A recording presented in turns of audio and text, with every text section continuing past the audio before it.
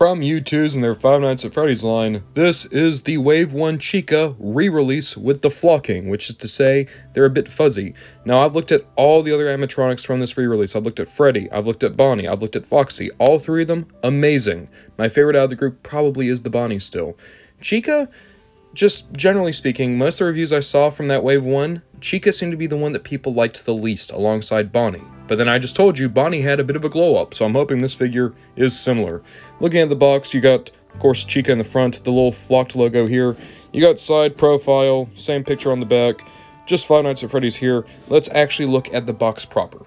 So when you take the protective case away and the dust sleeve, this is what you get. Number 23 Chica vinyl figure with the little flocked logo that tells you the figure itself is flocked. We got the same picture here on the side, and then right over here we have Chica going through the vents. Hey, I'm Chica, the lady of the group. My singing is a treat, but keep an eye on your pizza, because I'm a bird who likes to eat. Again, I'm pretty sure that's the lyric from the cut song from the VR game? Is that right? I've heard that song around, though. And then, So Sweet. It's a shame it doesn't say Too Sweet, because then it could have been like a Scott Hall figure. That's a that's a reference I almost guarantee no one who watches this video will get. But okay, let's actually open up Chica. Getting Chica out of the box I like this a lot. Uh, I think the pose and the colors are both really, really good. So part of the U2 style is that you have these kind of anime happy eyes. But even with that, like you have the bottom row of teeth, the bill looks fine. You got his name is Cupcake. I always want to call him Frank. He's just Cupcake. The cupcake looks good. You got the Let's Eat bib. Oh, this is cool. So the Let's Eat bib is just plastic, but then the body itself is all felt. Oh, there is also a little bit of a defect. If you look there at the shoulder, it doesn't go all the way around. They might not have been able to, though, just because of how the head is angled. But then you look on this side, and the bib does go all the way around. Okay, the bib's a little bit weird. But I do like the fact that the beak and the feet and the bib are all still just the normal plastic, and it's only the actual parts of the costume that you would think would be felt are felt.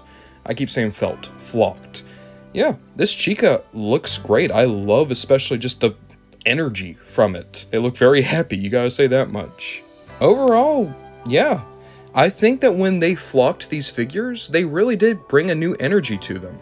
When I saw reviews of these guys literally anywhere, Bonnie and Chica were the two that people disliked the most, and yet now that I have all four of them in hand in this flocked version, I like them the most. I would put Freddy on the bottom, then Foxy, then Chica, and then Bonnie as my favorite. But this is a great lineup of the original four. I think that it speaks to Youtooz style and ability as toy makers that they might be the best looking lineup of the four animatronics that we've ever had in figure form before. And here we have the original lineup through Youtooz in their flocked uh, variations. Yeah, like I said before, these are the best quartet of the original figures I've ever seen. Like, the Funko figures were good, and you could get pops and uh, you could get various things like that. You could get the snaps. But this, this is perfect. I love how these four look together. And it makes me really excited to get more figures from Youtooz. Like I said, I think they're probably the best toy makers for Five Nights right now. So, with all that said, I give all four of these a glowing recommend, with my personal favorite again being the Bonnie.